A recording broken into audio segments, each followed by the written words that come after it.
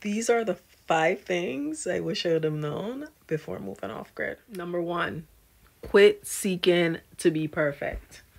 Nothing will be perfect. Nothing works out the way you think it should or expect it would. So, the best thing, and I think that would be number two, is learn quickly how to adjust and how to make adjustments to your plan or not be so rigid in how you think things should work so out. this is how that scenario showed up for me when my children and i who were both under nine years old moved off grid four years ago we were supposed to be on a completely different land i had a builder who ended up stealing my money and luckily i had another space that was supposed to be my farm and my production area because one of my plans was always to start a tea company and to grow and sell foods like just to be a farmer right as far as how it would sustain myself. Anyway when that money was gone luckily there was already a cabin there that i had the foresight enough to build one year prior. It wasn't all the way finished because like when you chop trees down from the land and you're making and building your own project it takes three months to cure. There's a whole process. And so we had to live in tents on that property until the cabin we could build our cabin and finish everything. Number two shadow work is integral to your success. So that means do all your shadow work before you uh, attempt to go move off grid uh, there will be times when you feel so defeated. And if you aren't strong mentally, and if you haven't worked through your negative self beliefs, it will conquer you and you will give up. You can lose it on people. Um, and things are going to show up when you're in that stillness and the peace and tranquility of nature. All the rumblings and things that you haven't dealt with when you're stuck in the cabins because it's rainy season and you can't go outside things show up. You start to dream differently. Like you can either A, choose to work them out, B, sit in that pain or confusion and figure out what it is. Learn how to become more in tune with nature because you don't have a choice at this point. Like your circadian rhythm resets, and so you're rising with the sun, setting with the sun. And so eventually things start to release. And so I think shadow work is a really big thing that can dictate your success or failure. So go heal. Oh, wait, that was three. So now we're on four. Move in silence. Um, believe it or not, not everyone wants you to win.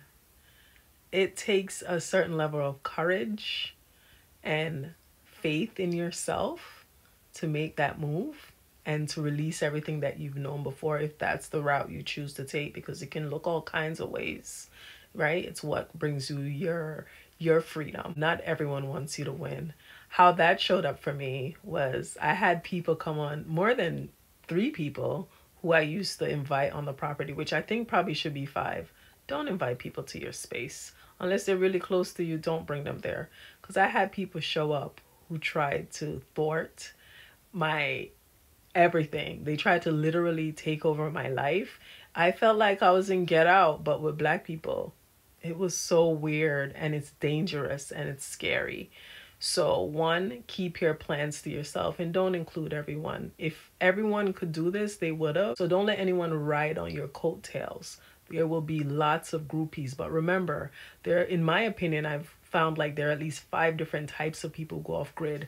You have the loners, you have the tree huggers, you have the weirdos, you have the mentally ill, and you have the people who want to take over the world or the abusers who can't live around like real people in society. So yeah. I think I'm gonna add one bonus, and it's gonna sound like a contradiction, but have a community or a person who you can go to where you can have reprieve right that person could either be like for us we were in a we left new york and we went to a new country um, it could be someone from your neighborhood, whatever. Choose a person because there will be times when you need that encouragement, that support, someone to just cry with, or someone that won't judge you, who just will be there to listen or to just root you on. Like, you're awesome. Can't believe a city girl like you is like farming. Like when my farm went to heck because of the droughts and then like cows coming in and eating it down and and the food was running out and we were in the middle of the jungle and my car was broken down. I was like, how am I going to feed these children? They're so hungry right now. I can't have them walk the 12 miles to get to a taxi, then go down the hill and then go to the market. So like uh, I had to call on my angels and I'm so grateful for those people who showed up for us when we needed y'all the most. And yeah, those are some of the things. I think I can actually do a four part series on this. So let me know if you enjoyed this and if you'd like to learn more about some of the tools and skills and things I've gathered being here for the last four years. All right. See yeah, one later. more thing. I would love your support. Please like this video, share it with someone you know who this could help or who also has the stream. Spread the word so that we can prop up. There are not many women who have children or single mothers who've gone off grid. My story is a very unique one and very niched, and I thank you for all your support. Be free, walk good. Until the next time, family. Bless up.